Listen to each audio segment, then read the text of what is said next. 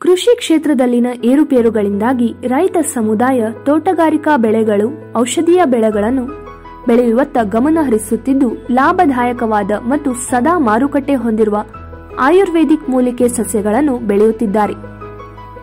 ಹೌದು, ಈ ನಿಟ್ಟಿನಲ್ಲಿ ತಾಲೂಕಿನ ಅದರಹಟ್ಟಿ ಗ್ರಾಮದ ರೈತ ವಿಠಲ್ ದಾನಪ್ಪ ಲಮಾಣಿ ತನ್ನ ಐದು ಎಕರೆ ಜಮೀನಿನಲ್ಲಿ ಔಷಧಿ ಸಸ್ಯಗಳನ್ನು ಬೆಳೆದಿದ್ದು, ಅದೀಗ ಹಚ್ಚು ಹಸಿರಿನಿಂದ ಕಂಗೊಳಿಸುತ್ತಿದೆ. ರೈತ ವಿಠಲ್ ಅವರು ಶತಾವರಿ, ತುಳಸಿ, ನುಗ್ಗಿ, ನಸುಗುನ್ನಿ, ನೆಲನೆಲ್ಲಿಗಳ ಬೆಳೆಗಳನ್ನು ಬೆಳೆಯುತ್ತಿದ್ದು, ಅವರ ಈ ಆಸಕ್ತಿ ಇತರೆ ರೈತರಿಗೆ ಪ್ರೇರಣೆಯಾಗಿದೆ.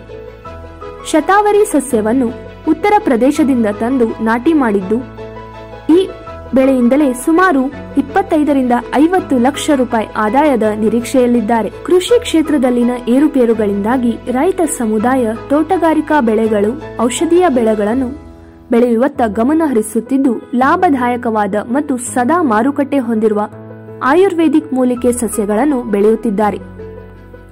ಹೌದು, ಈ ನಿಟ್ಟಿನಲ್ಲಿ ತಾಲೂಕಿನ ಅದರಹಟ್ಟಿ ಗ್ರಾಮದ ರೈತ ವಿಠಲ್ ದಾನಪ್ಪ ಲಮಾಣಿ ತನ್ನ ಐದು ಎಕರೆ ಜಮೀನಿನಲ್ಲಿ ಔಷಧಿ ಸಸ್ಯಗಳನ್ನು ಬೆಳೆದಿದ್ದು ಅದೀಗ ಹಚ್ಚು ಹಸಿರಿನಿಂದ ಕಂಗೊಳಿಸುತ್ತಿದೆ.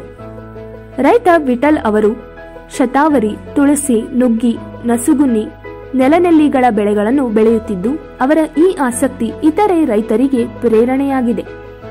ಶತಾವರಿ ಸಸ್ಯವನ್ನು ಉತ್ತರ ಪ್ರದೇಶದಿಂದ ತಂದು ನಾಟಿ ಮಾಡಿದ್ದು, ಈ ಬೆಳೆಯಿಂದಲೇ ಸುಮಾರು ಇಪ್ಪತ್ತೈದರಿಂದ ಐವತ್ತು ಲಕ್ಷ ರೂಪಾಯಿ ಆದಾಯದ ನಿರೀಕ್ಷೆಯಲ್ಲಿದ್ದಾರೆ. ನೆಲನೆಲ್ಲಿ ಇದೊಂದು ಅತ್ಯಂತ ಶಕ್ತಿವರ್ಧಕ ಸೊಪ್ಪು. ಇದಕ್ಕೆ ಔಷಧೀಯ ಗುಣವಿದೆ. ಕಫ, ಕೆಮ್ಮು, ಜ್ವರಕ್ಕೆ ಈ ಸೊಪ್ಪನ್ನು ಬಳಸುವುದರಿಂದ ಕೆಲ ಗಂಟೆಗಳಲ್ಲಿಯೇ ನಿಯಂತ್ರಣಕ್ಕೆ ತರುವ ವಿಶೇಷ ಗುಣವಿದೆ. ಈ ಎಲ್ಲಾ ಔಷಧೀಯ ಸಸ್ಯಗಳಿಗೆ ಮಾರುಕಟ್ಟೆ ಇಲ್ಲ ಎಂಬ ಮಾತೇ ಇಲ್ಲ. ಸ್ಪರ್ಧಾತ್ಮಕ ದರದಲ್ಲಿ ಇದನ್ನು ಖರೀದಿಸಲು ಕಂಪನಿಗಳು ಮುಂದೆ ಬರುತ್ತಿದ್ದು ರೈತರಿಗೆ ಔಷಧಿ ಸಸ್ಯಗಳು ವರದಾನವಾಗಲಿದೆ.